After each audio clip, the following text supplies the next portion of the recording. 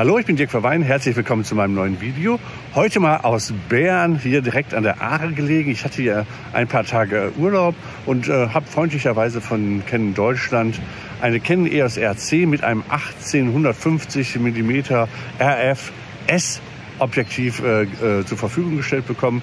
Dennoch, ihr kennt das von mir, alles ganz objektiv, wie ich die Kombi finde und was für Vor- oder Nachteile das hier auf so einem Reise- und Urlaubstrip hat. Das ist ja so eine ja, Reisebrennweite. Die kennen EOS R10 ist eine relativ kleine, kompakte Kamera. Wie hier so ja, meine Eindrücke damit sind, welche Vor- und Nachteile dieses System eventuell hat, erfahrt ihr in diesem Video. Und wenn euch das interessiert, bleibt dran. Nach dem kurzen Intro geht's los.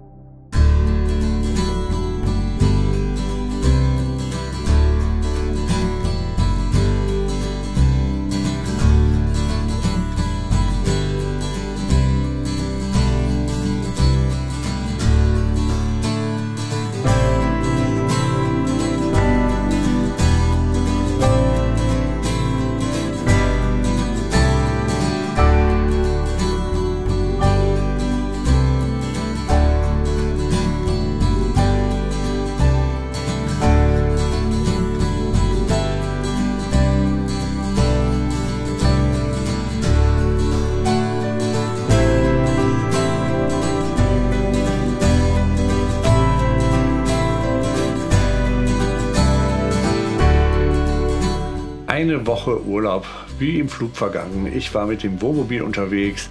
Wer dazu zu dem Wohnmobil reisen äh, oder zu unserer Jungfernfahrt mit dem neuen Wohnmobil und den zukünftigen Reisen mehr erfahren will, hier, ich verlinke euch mal den YouTube-Kanal, den ich bereits eingerichtet habe. Da ist zwar noch nicht viel zu sehen, aber vielleicht kann ich euch ja schon mal als Abonnenten da begrüßen. Das gibt mir ein bisschen Ansporn, da schnell auch Inhalte drauf zu packen. Hier auf diesem Kanal, wie gehabt und heute in diesem Video, geht es um die Canon EOS R10 und da wird es auch scharf, die mir freundlicherweise von Canon Deutschland für dieses Review zur Verfügung gestellt wurde. Ihr kennt das bei mir und ihr kennt das auch von Canon. Die machen keine Vorgaben oder äußern auch keine Wünsche, wie oder was man dazu berichten hat. Von daher, wie gehabt, meine persönliche Meinung aus dem Praxistest aus Bern, was ich da mit produziert habe und wie das Feeling mit der Kamera so war beim Fotografieren. Ich werde euch die Menüs nachher noch zeigen, nicht so tiefgründig, wie es bei meinen Tutorial-Videos sind, aber dann habt ihr einen Einblick, was da an Funktionalitäten drin sind. Ich werde euch ein paar der Videos oder der Fotos zeigen, die ich damit erstellt habe und so meine Eindrücke von der Kamera im Generellen. So, bevor wir einsteigen, aber fangen wir vom Äußeren mal an. Wir haben hier ja, eine 430 Gramm schwere Kamera mit Akku. Die kennen ja irgendwo unter der R7 als APS-C-Kamera mit RF-Bajonett und dann nennt sich das Ganze halt RFS-Bajonett äh, am Markt bringt. Was natürlich dann die Frage offen lässt, was passiert hier mit meiner M? Ne, ist das jetzt endgültig tot? Ihr seht schon vom Formfaktor ist das Ganze ähnlich, aber wenn wir es hier so ein bisschen schräg halten, ihr seht, äh, das Bajonett ist hier dann doch schon etwas größer geworden. Von daher der Formfaktor der M befürchte ich, hat das Zeitliche jetzt gesegnet, jetzt wo es die RF gibt, aber da warten wir einfach mal an. Gucken wir uns die RF10, R10 RF10, R10. Gucken wir uns jetzt mal genauer an. Und zwar, wir sehen hier oben ein Drehrad für, den Moduswahl, für die Moduswahl. Wir haben hier C1 und C2, das finde ich mal ganz praktisch. Da kann ich mir eigene äh, Programme drauflegen, beziehungsweise eigene Einstellungen abspeichern, die ich immer häufiger verwenden will.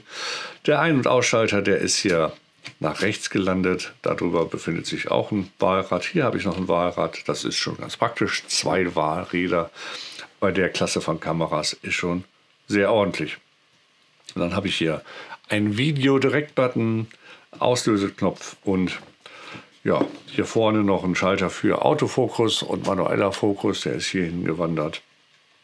Und auf der Rückseite seht ihr schon ziemlich aufgeräumt, aber wir haben einen Joystick mit Steuerkreuz. Das ist ganz praktisch. Man kann halt den Fokuspunkt damit versetzen.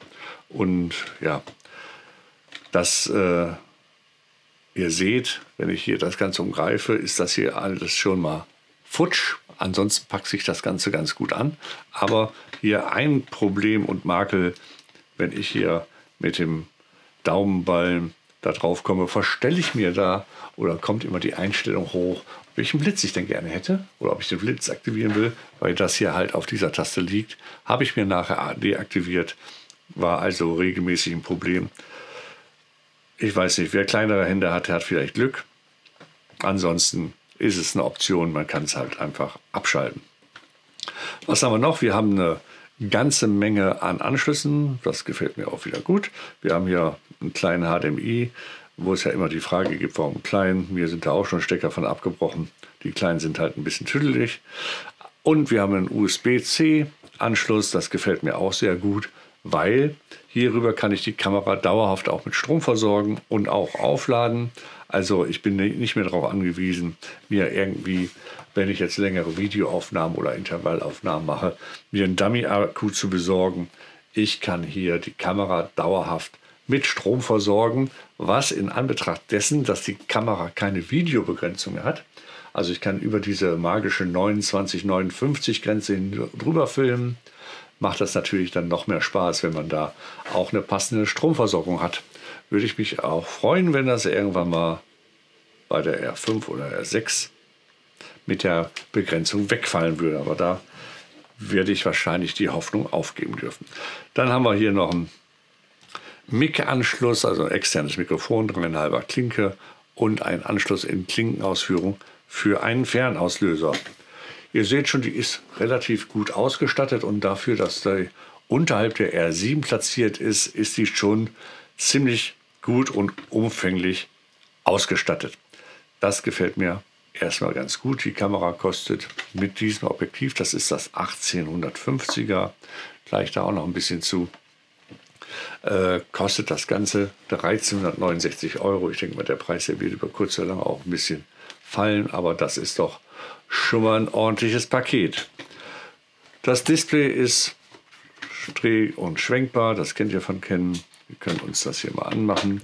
Da sehen wir ein bisschen, Canon hat ein bisschen, ja, ein bisschen Displaygröße gespart. Das sind 1,04 Megapixel Display. Der Touch funktioniert gut. Wir können swipen, vergrößern, wie gehabt. Das klappt alles super bei Canon, immer mit dem Touch. Aber hier, man hat einen relativ großen schwarzen Balken, wo man halt ja, Displayfläche ein bisschen eingespart hat, um äh, ja, Kosten zu sparen wahrscheinlich. Aber gut, man muss auch ein bisschen abgrenzen zu anderen Produkten. Von daher macht das eventuell Sinn. Dann habe ich hier mein Menü, da kommen wir gleich noch zu und äh, welche Menüpunkte sich darunter verbergen. Abschließend noch zu dem eigentlichen Gehäuse. Der Sucher, das ist ein OLED-Sucher, der hat 2,36 Millionen Bildpunkte. Äh, wirkt ein bisschen klein. Man hat so ein bisschen Mäusekino-Effekt, wenn man da so reinguckt. Ne? Also das ist ein bisschen äh, anders als gewohnt, wenn man jetzt gerade mit Vollformat viel macht. Aber das funktioniert nach einer gewissen Zeit und Eingewöhnungsweise ganz gut. Und äh, ja, zur, zum Gehäuse eine Sache vielleicht noch. Wir haben hier den Deckel, der ist ein bisschen klapperig, aber funktioniert auch ganz gut. Ähm, wir haben hier den LPE 16 Akku, äh, 17 Akku, LPE 17 Akku, der ist ein bisschen die Feder, wenn die, die muss man schon gut nach hinten drücken. Und wir haben natürlich bei der Preisklasse nur einen Speicherkartenslot, aber im UAS 2 Standard. Also der ist schon relativ zügig. Das ist schon ganz ordentlich. Ich habe das Ganze als Kit gekriegt, also mit dem 1850er.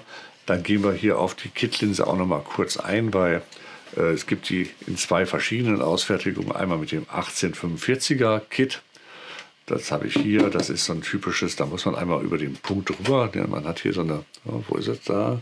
Eine, so, so eine Parkposition und wenn man fotografieren will, muss man erst auf die 18 und hat dann halt ähm, seine Brennweite bei diesem Objektiv zur Verfügung und zum Einparken kann man es halt wieder klein ziehen und dann ist es in der Tasche halt klein und handlich.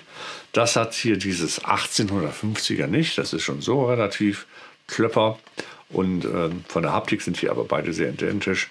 Kunststoff, nicht gummiert, haben hier vorne noch ein Rad, äh, wo man den Fokus oder die Schärfe mitziehen kann. Ähm, ja,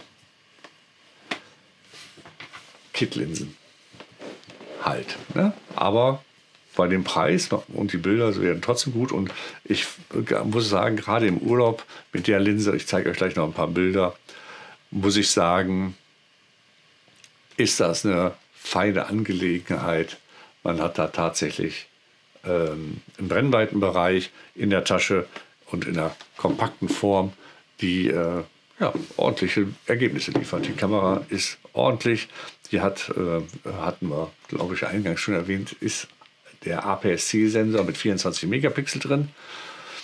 Äh, das ist der Sensor, der hier ähnlich der M50 Mark II werkelt. Der hat in dieser Kamera nur noch einen stärkeren Prozessor, und zwar den DGX-Prozessor. Das merkt man, also alles, was mit Bildbearbeitung intern in der Kamera zu tun hat, funktioniert einfach gut. Und da gibt es nicht viel zu meckern. Und bevor wir jetzt euch gleich noch, oder bevor ich euch noch ein paar Bilder zeige, schließe ich mal eben hier mein Kabel an. Dann gehen wir mal eben die einzelnen Funktionalitäten durch. Nicht im Detail, das ist kein Tutorial hier. Aber um euch einfach mal kurz zu zeigen, was denn da für verschiedene Möglichkeiten in der Kamera sind. Und ihr seht, das Menü ist wie bei einer großen, ihr seht gar nichts, ihr seht jetzt das Menü, das ist wie bei einer großen, normalen, normalen Vollformatkamera bei Canon halt. Ich kann hier RAW und JPEG gleich auch, gleichzeitig schießen mit meinen 24 Megapixeln und die Komprimierung noch einstellen bei, bei ähm, den JPEGs. Ich habe das äh, komprimierte RAW. Ich habe auch hier mein Dual Pixel RAW. Ich kann also, wenn ich das möchte, meine Schärfe, meinen Fokus noch ein bisschen korrigieren in der Canon-Software.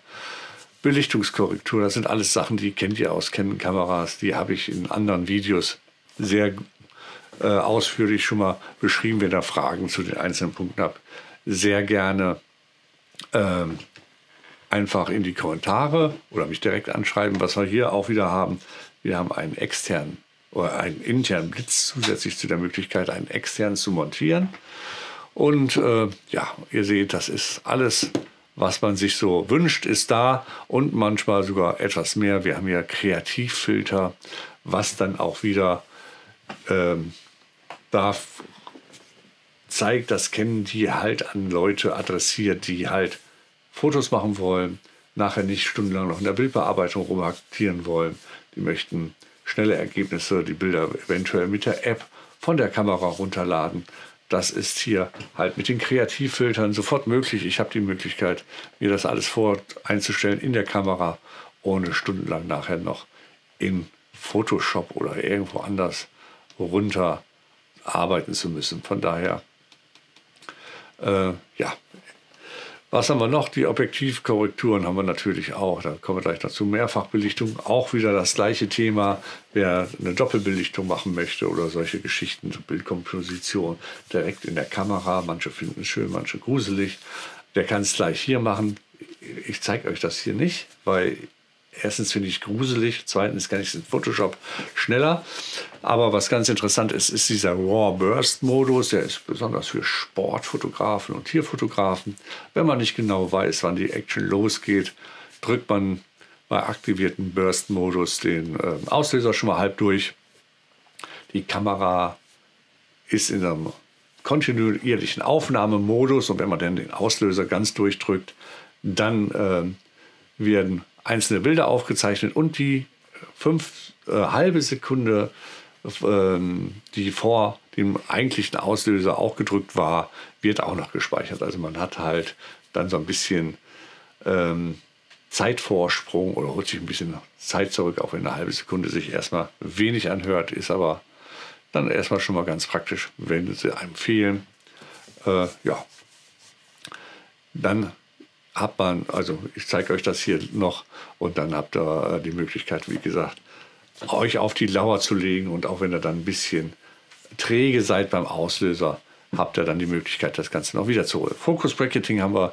Wir können also unser Poké verschieben, wenn wir offenblendig arbeiten wollen bei Licht oder was auch immer es so äh, erforderlich machen, könnt ihr halt ähm, euch den vorderen Fokuspunkt aussuchen. Die Kamera zieht dann einfach die, die, die Schärfe bis hinten ins Bild rein, um dann ein ausgewogenes, durchgängig scharfes Bild zu generieren. Auch praktisch ähm, kann man auch mit anderen Möglichkeiten machen, aber ist in der Kamera gleich drin. Praktisch auch bei der Kamera. Das Ganze wird auch als Einzelbild auch alles abgelegt. Man hat also nicht nur das zusammengerechnete Bild, sondern auch die Einzelbilder und kann dann halt äh, bei Bedarf auch darauf wieder zugreifen. So, dann haben wir noch Betriebsart.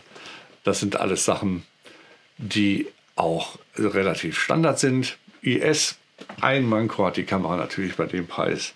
Äh, und der Differenz zur R7 muss ja dann gerecht werden. Die hat kein Innenbody, keine Innenbody-Stabilisierung. Über diesen Menüpunkt hier bei der R10 regel ich halt den Stabilisator im Objektiv. Da kann ich das ein- und ausschalten.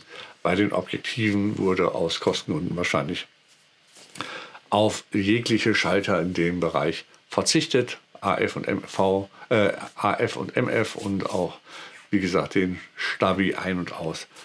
Button gibt es bei diesen Objektiven hier nicht. So, was haben wir noch? Simulation anzeigen. Wie gesagt, wie soll der Fokus, äh, wie soll der Sucher oder das rückwärtige Bild die ähm, Belichtung anzeigen, simuliert oder nicht. Kann man hier alles einschalten. Gibt es alles Videos auf meinem Kanal äh, zu den Menüs der anderen aus der R-Serie. Was interessant ist, Canon hat hier, und da zeige ich euch auch ein paar Aufnahmen, die ich gemacht habe, dem Ganzen mehr oder weniger das Autofokus-System der R3 spendiert. Also äh, Autofokus funktioniert super, Augenerkennung bei Tieren. Ich blende euch das ein. Ich war hier noch eben kurz im Tierpark hier in Weze. Äh, gar kein Problem. Augenerkennung bei Ziege, bei Vögeln auf langer Distanz. Sehr weitwinklig oder nicht, egal der Fokus, der sitzt, der bleibt haften, wenn ich einmal das Ganze anvisiert habe im Servomodus. Das ist ganz klasse gelöst. Das ist, da braucht man sich kaum mehr Gedanken zu machen. Da ist die Technik mittlerweile wirklich ausgereift. So, hier haben wir die ganzen Servo-AF-Sachen, die dann noch auch wieder nach Gutdünken und äh, Einsatzzweck eingestellt werden können. Und alles andere ist da auch wieder mehr oder weniger im Standard wie es halt mittlerweile bei Canon, bei den neueren Modellen alle üblich ist. Das macht schon relativ Spaß. Man hat eine Kamera für 1369 Euro äh, mit dem Kit-Objektiv und ja, ich mache das hier mal ab wieder. Und ich muss sagen, äh, diese Linse gefällt mir für auf Reisen wirklich gut. Das macht Spaß. Äh, vom Gewicht her ist das nicht groß auffällig, wenn man das Ganze mitpackt, einpackt. Mir wäre diese Linse jetzt hier für eine Reise äh, von der Brennweite zu kurz mit 45 mm. Gut, wenn man nur Städtetour macht, passt das wahrscheinlich auch. Aber wenn man ein bisschen on Detail arbeiten will, ist das schon eine feine Sache. Kommen wir noch zu einer anderen Sache, weil ja auch viel jetzt über Video spricht. Das Ding kann natürlich auch Video in 4K IPB und IPB, IPB Lite mit 30 Frames per Second und äh, bis 60 Frames per Second hoch. Äh, 120 Frames nur bei Full HD ist halt die Frage. Will man damit filmen? Kann sie vernünftig, kann das Ganze Clean HDMI ausgeben, also man kriegt ein Bild auf einen externen Rekorder, wenn man es haben will, oder auf irgendeinem externen Bildschirm ohne Menüeinblendung, was für den einen oder anderen wichtig ist. Und äh, ja, wie gesagt, ich hatte schon kurz erwähnt, es gibt keine Laufzeitbegrenzung mehr. Bei der Videoaufzeichnung die 2959-Regelung ist hier raus. Die Zollbegrenzung gibt es nicht mehr. Die Kamera hat die auch nicht mehr.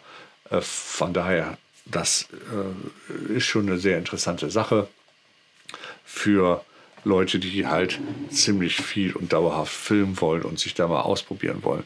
Die ganze Kamera hat einen Kropffaktor von 1,6, wie wir kennen, auch üblich ist halt die APS-C-Kamera und ihr seht schon, das Bajonett ist schon ziemlich wuchtig und äh, ich bin gespannt, was da formfaktormäßig für RFS noch geht. Äh, aber die M50, die ist natürlich auch hier schon Maßstab gewesen. Die war auch schon klein und handlich. Da gab es ja auch die eine oder andere kompaktere Version noch. Da bin ich gespannt, wo sich das Ganze hin entwickelt. Da soll es ja, man munkelt, noch eine R100 geben oder was auch immer. Wir lassen uns da mal überraschen. Ja, das zu den technischen Spezifikationen und so mein Praxisempfinden zu dieser Kamera. Jetzt ist natürlich alles, jetzt ist mein Rechner natürlich ausgegangen, aber der kommt sofort wieder. Ist natürlich alles Schall und Rauch, wenn man keine vernünftigen Ergebnisse kriegt. Und da zeige ich euch mal ein paar Bilder, die ich mit der ja, mit der Canon aufgenommen habe. Und zwar, das ist alles unbearbeitet. Ups. So. Und ähm, da holt man natürlich noch auch einiges raus. Sie hat eine, einen Dynamikumfang von, muss ich mal eben gucken, 12 Blenden soll sie haben. Und es ist halt eine APS-C-Kamera und da kann man ISO-mäßig natürlich nicht die Welt verlangen. Und so ist es auch bei der Kamera natürlich. Wir haben äh, ab ISO 3200 haben wir Rauschen. Ja, und äh, ihr seht das hier, ich kann euch das hier mal ranholen, das ist 6400. Im RAW unbearbeitet haben wir natürlich ein Rauschen. Wenn ich das Ganze im JPEG habe, rechnet sie das schon ganz gut raus. Wobei die Frage ist natürlich, ich habe hier mein Bild im Vollformat, in welcher Auflösung guckt man sich das Ganze an ähm, bis 3200 ist, ist auch schon eine Menge. Da kann man einiges mit anfangen, gerade wenn man in der Reisefotografie unterwegs ist. Ähm, wir hatten es leider ein bisschen riesig, aber ähm, da sind die Ergebnisse trotzdem noch ganz ordentlich. Vom, ähm, vom Brennweitenbereich vielleicht noch mal ganz kurz. Wir haben hier äh, ein und dasselbe Bild mit dem gleichen Objektiv aus der gleichen Position und ihr seht eine schöne, ja, Panoramasituation. Und hier habt ihr hier so ein, so ein, Felsgestein, wo die, und das ist das gleiche Bild mit dem Felsgestein. Jetzt hatte ich den Fokus nicht schön gesetzt, aber ihr seht, wie viel Brennweitenbereich man mit dem 1850er da so mitbringt. Und ja, ansonsten Blendensterne kann es, kann es auch, auch wenn es nicht so schön ist. Alles nicht bearbeitete Bilder. Und man sieht, man kann da durchaus mit arbeiten. Die interne Korrektur arbeitet natürlich auch einwandfrei und ich habe hier noch ein paar Bilder gemacht, um euch mal zu zeigen, wie das Ganze dann aussieht, wenn man hier halt ein etwas hochwertigeres äh, ähm, Objektiv dran sitzt. Da war jetzt das RF 1535 aus der L-Serie dran. Ihr seht, äh, die Linse macht das Bild auch in diesem Fall. Und ich glaube, ihr seht schon, okay, der Chip, der Sensor hat jetzt eine, eine, einen Dynamikumfang von 12 Blenden, was nicht schlecht ist. Da hätten wir früher hätten wir das gefeiert und ist auch vom Rauschen her ein typischer APS-C-Sensor. Aber wenn ich da eine vernünftige Linse dran mache, ähm, seht ihr, die Bilder sind auch bei dieser Kamera äh, wirklich, wirklich gut. Und der Funktionsumfang ist halt auch mit Focus Bracketing, mit Raw Burst Modus, mit Intervallometer. Der hat, die hat noch eine Panorama-Funktion. Äh, ich kann alle EF und EF Objektive jetzt mit dem Adapter anschließen, kann die weiter benutzen.